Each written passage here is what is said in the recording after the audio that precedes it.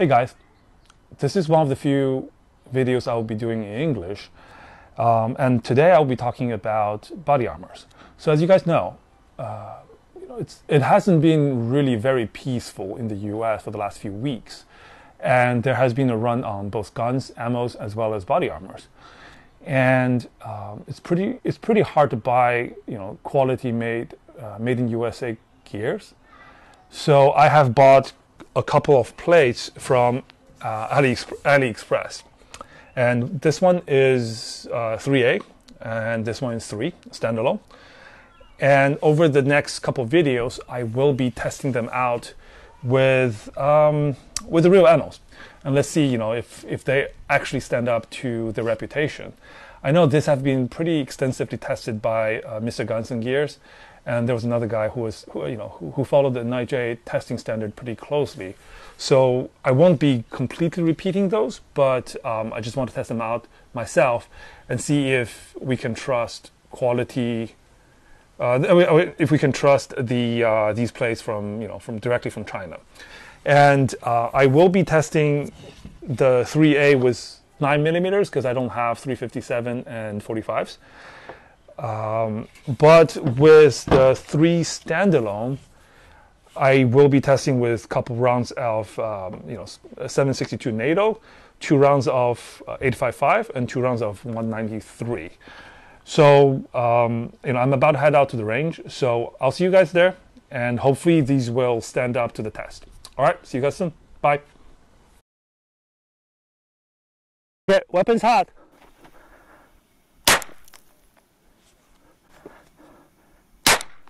二、三。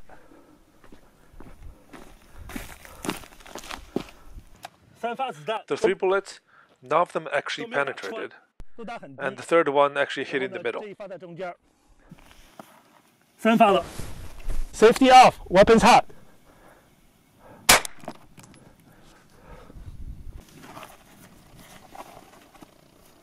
我在我这次打这儿吧。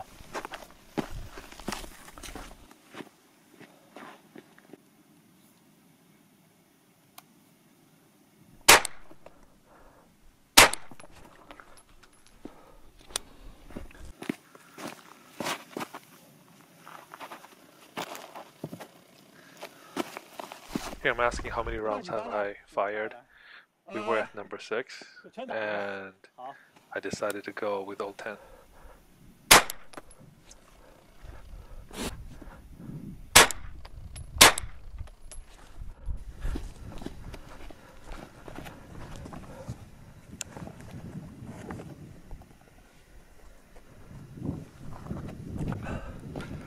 Hai 呃，还有两三发吧，再试试。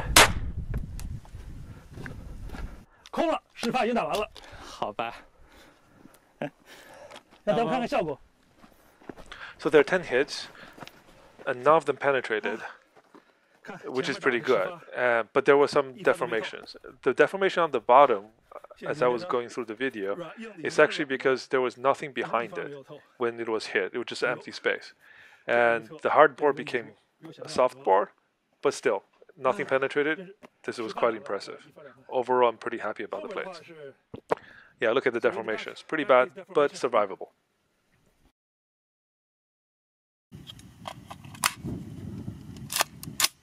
Weapons hot. Deeper. Set. R. E. Weapons clear. Let's take a look. The first one was right at the edge, and it broke the ceramics. And I thought it actually uh, went through, but it didn't. The uh, the bottle was broken because the br the brute force transferred from the uh, from the shot went directly into the bottle and broke the plastic. But actually, the shot was contained and didn't go through. 这是第一发，然后呢，我再我再打一发在这边左右吧。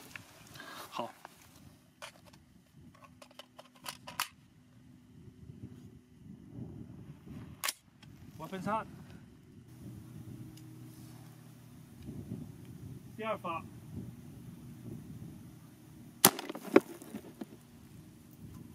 Weapons clear.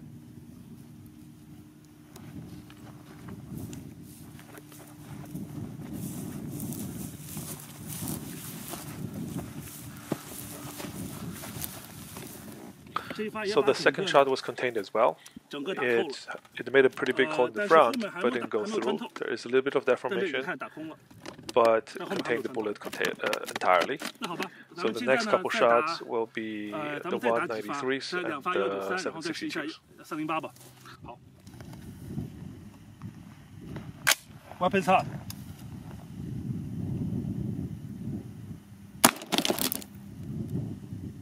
打倒了，等一下。 that hit was right at the edge, uh, but it still didn't go through.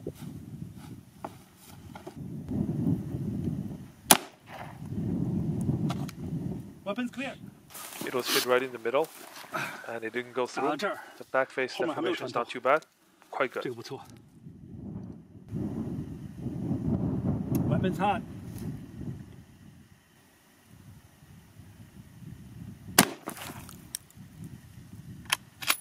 Weapons clear，让我看一眼去。 The 762 shot was right Wow. above the 这还不错，看刚才855这么近 and didn't go 也没有 through. 透， Quite impressive. 哇，这还真不错。Weapons hot。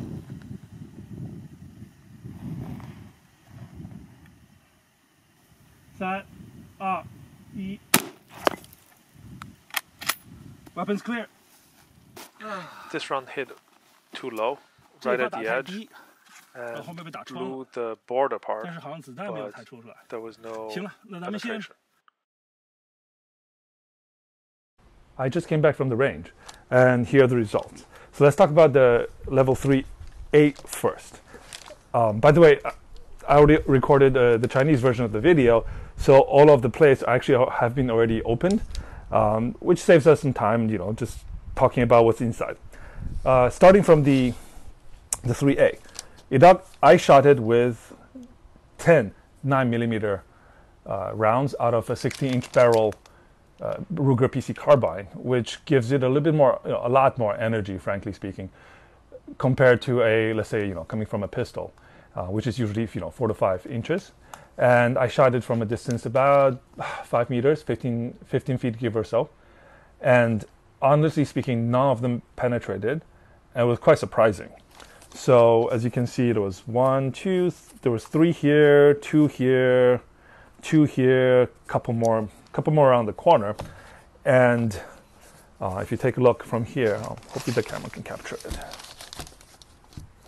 So uh, honestly, none, none came through. These two small marks are um, basically rash marks from from the stump that I was shooting it, shooting it against, and these two holes, um, the one on the bottom and the one on top, actually came from a uh, from two 308 shots that my friends wanted to just you know have some fun. Uh, so obviously those don't count. But even though, right, like none of them, you know, none of them came through. And yes, there are quite a bit of deformation, the back back end deformation, but it's, I mean, what I mean, it's it's kind of to be expected, um, especially if you know, given from given the fact that it's quite short. And as you can see here, I already cut it up, and there are a bunch of bullets that were captured inside, and I actually didn't take them out.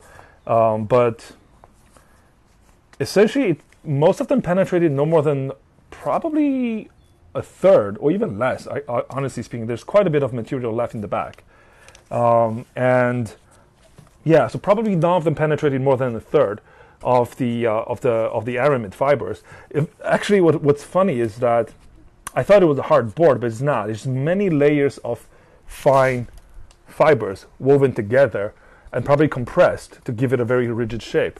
Um, but what happens is just you know as the fiber break down, the uh, and as the energy gets absorbed by the impact, right? It, it just breaks. It just breaks down, but none of them penetrated. Um, the biggest deformation came from the bottom, is basically because I shot. I don't know if it's clear, but they are essentially about a, millime- a centimeter apart. Two rounds, probably uh, what uh, an inch, which is what two and a half, three centimeters from the edge. Two shots next to each other, one by one, and give a deformation. But uh, nothing too bad. I mean, well, it's pretty bad, but better than two holes. And um, here is another big group of lump, but that was because it was shot by three, I think it's one, two, three. So three, three holes right here. Three shots right next to each other. Um, so basically, the you know the first two pretty much softened the fiber, and the third one gave the gave the final deformation. Uh, again, honestly, quite impressive. And um, and yeah, I'll put some pictures towards the end. And um, and honestly speaking, I'm quite impressed by the quality and the fact that it actually withstood withstood 10 rounds. Um, definitely a thumbs up. And uh, I'm actually buying two dozens of these with uh, with some of my friends. So, uh, but keep in mind that you ne- you'll need a trauma pad in the back just to absorb the energy and you know like uh, does so they don't give you too many uh, too many broken ribs. All right, now let's talk about um, the the three uh, level three plate. Actually, this is this is probably what most people have been waiting for anyway. Um, so again, uh, let's see, take a look. So this one, sorry, I put in the bag earlier. Um, so you can see there were six six rounds shot on this. This was the uh, 855. There was the second one, eight, the second 8, 855. The first uh, 193, um, the, sub, the, the full metal jacket, the 855s. Um, just in, just a reminder, they are uh, the, the, the, steel tipped bullets, and then another one, another 193. Uh, and then two 308, uh, which is 762 NATO uh, M80 ball, um, and and none of them penetrated. Um, so I'm going to show the back. So okay, there's a there's a few good things about the plate, and, and I'll talk about it in a bit. But um, as you can see, right, like basically when whenever a bullet hits the plate, uh, the ceramic gets completely shattered, and basically there's a big hole. And but the good thing is none of them actually penetrated. So let's see. This one, there is quite a bit of uh, deformation in the back, quite a bit. I do have to admit, right? But the but the challenge is also this is a 308 hit right at the border. Um, what, an inch right about an inch right uh, from the bottom, and technically speaking, this is you know from an NIJ sta- uh, testing standpoint, this actually doesn't wouldn't count, but it still withstood it. It um, it broke the backing, so the inside of it. I'm just gonna open it up. This is this is essentially a level three plate in the back. It's pretty much the same. I think the same uh, same same thickness. It feels like the same thickness, um, and basically the energy dissipated into this this board, and it, it completely blew it, blew it out. Um, yeah, you can see. Yeah, it's like this. Uh, but I don't believe any bullet actually went through. Huh. I don't believe any bullet went through. There is a hole in the back, but it might might be might be from a um, from a fragment. But the but again, right? It was just an inch below, an inch above the the top, so pretty impressive, honestly. But this would have hurt a hell lot, probably resulting in several broken uh, broken ribs and, and a huge bruise. But you most likely will be, will be able to actually walk out from this. Quite. Um, and then the rest is, you know, the the. Oh, by the way, when the bullet hits, it actually hits the ceramic, completely shatters. So it, it's like I can't find them anywhere. Um, but as you can see, right, like the the boards, the fragments got absorbed by the board, and yeah, overall it withstood all of the um, all of the hits, which is quite good. Now let's look at the front. Um, so there's a so let's talk about the benefits and the not so good things about this plate. Uh, number one, the good thing is that it actually is a mosaic mosaic design, which means that it's made from multiple, actually quite a bit of small uh, small small ceramics glued glued together. So you can see what and the benefit of is is that when the bullet hits, it would only shatter the immediate ceramic, and you wouldn't uh, wouldn't shatter the one next to it, right? So basically, uh, it gives a good multi-hit capability. And as you can see, there was this one was the uh, this one was the 193, this one was the 308, uh, the 762, if I if I remember correctly. So the 193, and then th- the third one, there's a this one right here, right next to it. Another this oh this is 855. This is 193. That's the 762. So basically, as you can see, the first shot shattered the uh, this section. The second shot was about a maybe an inch and a half above it, and shattered the uh, the plate. I mean the, the ceramic plate above that, and the third shot shattered the other one. But if you look at the immediate surrounding, they're still intact, which means that another bullet, if another bullet hits, uh, the, the plate can still take it. Now it's a different story if the back can still take it, but the front will. Um, so that's a good thing. Actually, uh, for a, for a plate about hundred dollars, I wasn't expecting this.